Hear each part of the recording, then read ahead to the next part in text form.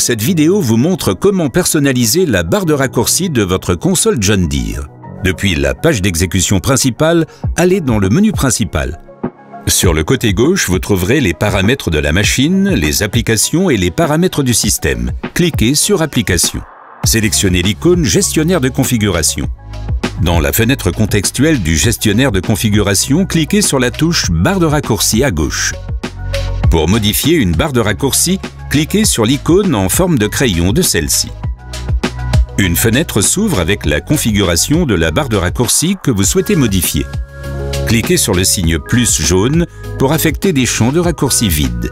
Cliquez et choisissez parmi toutes les icônes proposées dans le segment Applications et systèmes.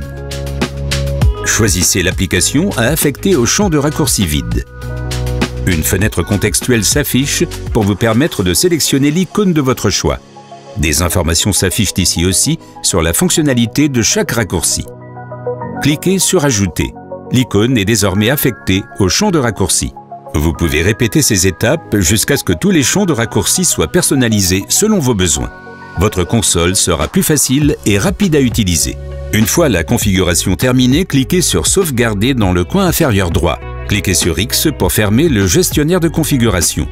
Quittez la page des applications pour revenir à votre page d'exécution principale dans laquelle s'affichent les applications que vous avez choisies dans votre barre de raccourcis.